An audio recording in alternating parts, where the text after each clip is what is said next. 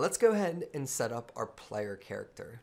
In this game, our player is going to be a first person character that we're going to be creating from scratch. To get started with that, we're going to go ahead and create a capsule to represent our player in the scene to get started.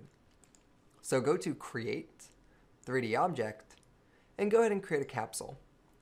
You'll notice that it gets spawned in the floor probably, and that's okay. All you have to do is zoom out, drag it up, and actually what you can do is just change its position to about 0, 0, 0, and you'll see it's in the floor right here.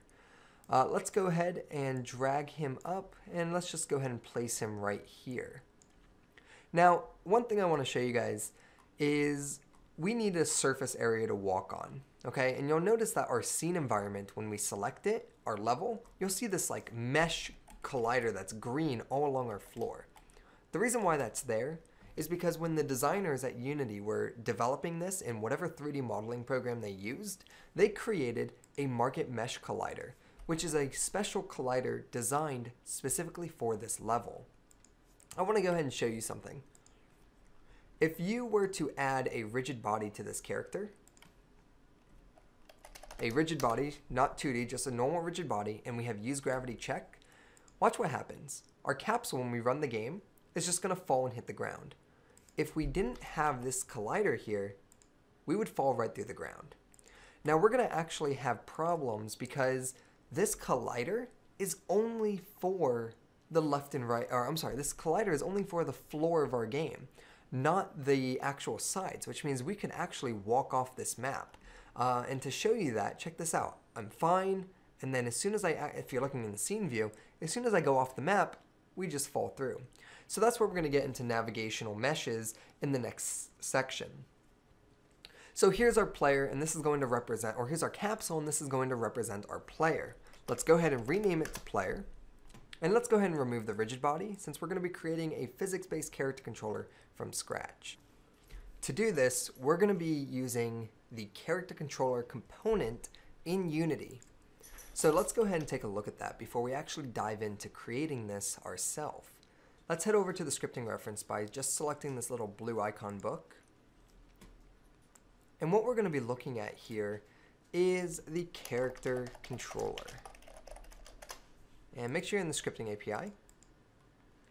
And actually this is the manual for it, but basically the, the character controller is mainly used for third person or first person player controllers that does not make use of rigid body physics because we're going to be creating our own physics. So head over to the scripting API, type in character controller,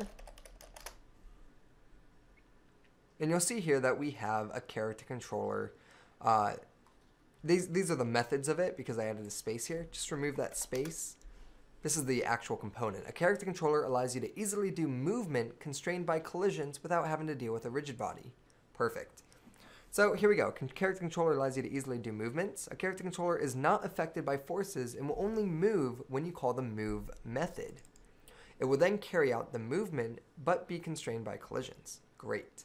And as you can see here, we have a move method. So already off the bat, how do we use the character controller? Well, we have to use the move method, which is right here. So a more complex move function taking absolute movement deltas.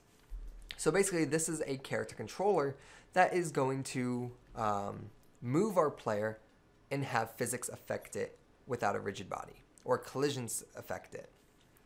So let's go ahead and actually just jump through uh, jump through their code a bit and just see what they're doing here because this obviously is a lot that's going on and it might be a little intimidating. What's happening here is they've just declared a speed variable for our player. The player can jump, and they've added a gravitational value. Um, they also have a vector 3 move direction, so if you're moving forward, backwards, left, or right. Every frame and update, they're getting a handle onto the component character controller. They're checking if the controller is grounded, because you can only move if you're grounded, right? Imagine you're in midair jumping. Can you move if you're jumping? Absolutely not. So you have to check if you're grounded. From there, they're saying the move direction is based off your user input. We're familiar with the input get axis horizontal and vertical because we use those in game one. That's how you actually get keypad, uh, keyboard inputs and they're basically applying them to the move direction of your choosing. Then they're saying here, move direction equals transform.transform direction. Now, if you're not sure what that is, we're going to get into this in, a, in uh, a later video, but essentially this is how we are basically uh, going from local space to world space, which we'll introduce in a later video. From here, move direction multiplied by speed, that's just your velocity, which is direction with speed. And then here they have logic for if you jump, and then they say your jump speed, which is 8, gets applied to your y value move direction. Here, they're applying gravity, which they created through this variable here, move direction.y minus equals gravity. And then the most important part is they're saying move. They call the controller, which is their handle, and they say move based on the move direction of your user inputs with real time by using time.delta time. Now, this could be totally confusing, and that's fine. Their example here is close to what we're to do, but we're actually to do something that I believe is a bit better, and it's also to give you a better understanding for writing this from scratch. So I'll see you in the next video, and we'll go ahead and set up our player.